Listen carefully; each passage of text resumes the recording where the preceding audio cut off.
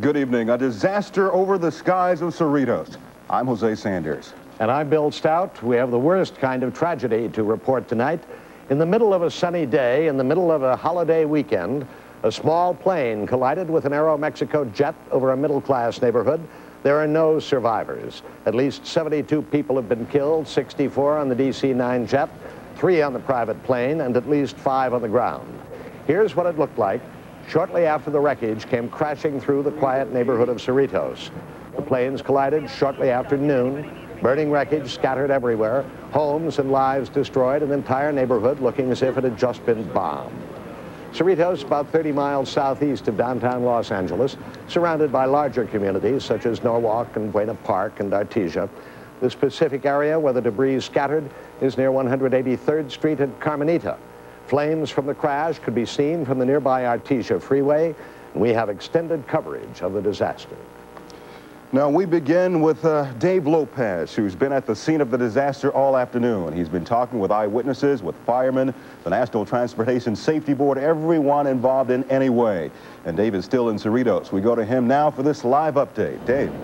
Looking down the street, Home Street, where uh, much of that plane crashed, we just finished talking to a spokesman from Aeromexico who told us that the last stop of that flight was in Tijuana. He also told us that he believes the majority of the passengers on board were tourists returning from a holiday in Mexico. He said that the majority of the names are Hispanic, but of course that doesn't mean much uh, these days, uh, whether they are from Mexico, whether they are, are people from the Southern California area, just by looking at the names, could not tell if most of the people were from Mexico or from here. But he did believe that most of them were tourists returning from that vacation spot. The plane was, was due to land at LAX at 1205. He said that there had been contact with the pilot in the tower about 20 minutes prior to that. Everything was fine. The pilot said everything was on course and he was going to be making a landing at 12.05. Then they didn't hear anything. They started hearing rumors and they said there was shock and disbelief that it was the Aeromexico plane. We have some tape of what this neighborhood looked like shortly after the impact. The, the crash, 11.53 precisely. And people who heard it said it sounded like a couple of bombs exploding. One man said he thought it was an earthquake. You are now looking at part of the fuselage. The plane came down, from what witnesses have told us, on its back.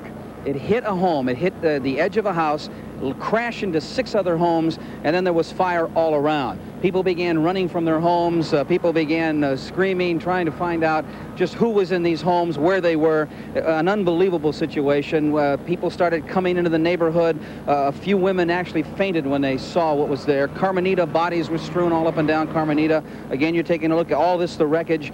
Almost instantaneous fire, according to most of the people that we have talked to. One man told us that he actually saw a man pulling three children out of a house. Uh, we have now confirmed that that did happen, that the injuries were only minor. A couple of firefighters were injured, twisted ankles, one suffered some burns. This neighborhood, a very quiet, normal neighborhood, about the only way you can describe it, and it is in shock. I have one man who has to be described as a hero because he pulled out a 14-year-old boy, Wayne Nelson. Mr. Nelson, your house is all but destroyed, is that correct? Uh, half my house uh, was burned, I guess, by the fire. Uh, it was not hit by the plane. The house next to us was hit by the plane. Uh, we heard it coming down, a tremendous roar, the engines. It exploded, it hit, it exploded. Uh, it was all I could do to get my family out of the house. We, I, I thought that was the end of it. Now, how, how was it that you rescued the young 14-year-old boy? Well, we got out of the house. We got out of our house and I didn't really know what had happened. I knew something bad had happened, but I ran around to the other side to see it, and all I saw was where the house used to be. And I'm standing there in disbelief, wondering what to do. The, the fire was tremendous, uh, and then I saw the youngest boy kind of stumble out of his out of the wall there. So I went back and I got him. I helped him out. Do you know his name? Um, Alex. Okay. Thank you very much. Sure stories like that all over. Uh, people uh, helping other people. Uh, this neighborhood's in shock, and it's going to be quite a while before they find out how many people are in that debris, if there are any. We now have confirmed five, at least five on the ground killed. It could climb. I'm Dave Lopez reporting live from Cerritos. David. Good day. And this evening, dozens of National Transportation Safety Board investigators are on their way from Washington. Their task to sort out the data and explain, if they can, exactly what happened. Shocked eyewitnesses are already recounting that horrifying crash. Reporter Ann Curry has been there most of the day. She was first on the air from the scene, and she has some of their chilling stories. It happened in this quiet Cerritos neighborhood. The Aeromexico DC-9 collided midair with a small-engine plane, then plunged headlong into people's homes, cutting a path through roofs as residents watched helplessly.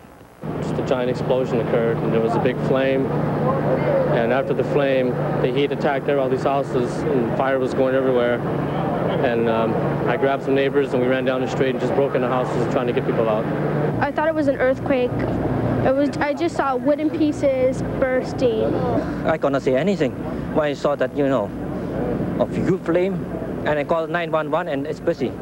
Rigo Uribe could hear the terror. We heard people moaning and screaming, and kids. And He was standing in the middle of this street when he heard the screams and the moans, and the sounds were coming from that house. It was where the DC-9 finally stopped, but nothing could have saved the people screaming inside. The explosion and a ball of flame leveled the homes and left only pieces of the DC-9 intact. The three people inside the small engine plane could not save themselves either. They spiraled downward nose first, crashing three blocks from the DC-9 in this Cerritos Elementary School field. There was an off-duty officer that came up, and I told him, yes, they're, they're deceased, and uh, there's just no, there's just no way. The wreckage stretched for miles. In it, the firemen found plane seats. One found a child's shoes. And as investigators arrived to piece together why all this happened, the people who live here can only relive the nightmare. This family discovered it returning home from church. In their shock, several who saw it uh, happen pointed out that the plan was fly plane was flying, flying unusually low before the crash. It will be up to investigators to see if all of that checks out. Now, and again, you were one of the first reporters out there on the scene. Yes. Uh, a lot of people are expressing surprise that emergency crews were there so quickly. Is that what you They found when you They got were there very quickly, but the bottom line is that there was such devastation that they found that the people who lived there had to pitch in to help get everybody out. And in fact, we talked to several people who pulled hoses with the firemen, who banged on doors, tried to get people outside. It was just such a terrible mess. The firemen needed all the help they could get. Mm, lots of uh, courageous stories to come. Thank True, you. there are hero stories in this. Appreciate it. Well, for the people on the plane, it was a moment of horror, but for the people on the ground who witnessed the crash, that horror will last for a lifetime. Channel 2's Patty Ecker talked with some residents of Cerritos who could only sit and watch in terror as the two planes fell from the sky. Patty. Well, Jose, we are now in the Red Cross Evacuation Center, a temporary evacuation center at 103rd and Carmenita. This is a place that will become a source of information, a source of shelter, a, source, a source of comfort for the victims and the relatives of the victims of today's crash. There are really only a handful of people here, but there are hundreds of volunteers ready to help those victims. This was a neighborhood of friends, said one man. A close-knit community, said another stunned resident. In one instant, the neat gardens, the patios, the homes became 300 yards of debris. I just saw the shadow of the plane and the loudness and then the boom. The human toll will not be known for some time. Fire officials are sure no survivors remain in what's left of 20 houses, but they don't know which victims are from the jet and which from the neighborhood. So officials and friends ask who was home, who was not. The Nelson family was home, eating lunch, all except Robbie, who was outside. The, the airplane, first it was high, then it came down about to our roof, then it turned. The noise. It was just the loudest thing I'd ever heard, and I heard it getting closer, and I kind of knew we were dead at that point. And then when we weren't, when the house kind of exploded around us, I grabbed the kids, and my youngest boy was out in the garage, and he had come up. He saw the plane come down, and when he he was coming up to the to the front, and we just looked to make sure we had all of our family around. We got him here. We got out. Their neighbors were not as lucky. They speak of the mother who had gone to the store when tragedy struck her home. Now she waits inside an undamaged house, asking where's her husband? Where's her son? Who tells them? Who, who tells them? I don't know. The concern now, of course, is for the survivors and the people who must now patch back their lives. I am with Ralph Wright of the American Red Cross at the evacuation center. Ralph, tell me what's available here. Right now, we're taking down information of people who are looking for relatives. People have to come in here, though. Uh, we're also providing them with some place where victims can get away uh, from the press of people. Where they, we have some counselors here to work with them. So when you're distraught, you can meet with a priest or uh, a pastor or, or some psychologist. Uh, in addition, we're providing food, and we'll be moving the folks over to Cerritos High School, where we'll be setting up all-night uh, facilities where people will be able to get some sleep. You know, I think the question that everyone is asking is, what kind of numbers are we talking about? Do you have any idea how many families you're going to have to be concerned about? This partially depends upon the FAA and the parameters of the area in which they cordon off for the purposes of trying to determine the crash site.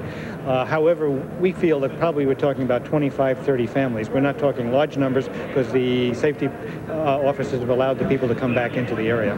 Ralph Wright of the American Red Cross, thank you. Ralph said one thing, that what the Red Cross needs now and what the victims needs now really will be contributions of money to help the victims. And he also said, please don't call. There's no real number to get information. But if you want to come down, you can come to the evacuation center, which is what, Cerritos Elementary School, Cerritos High School. Cerritos High School. Cerritos High School, and there you can find information if that's necessary. This is Patty Ecker reporting live from Cerritos. A long night ahead, Patty, and a lot of terrible stories I'm sure we'll be hearing. There is just so much devastation, it's difficult to understand the size and scope of this accident.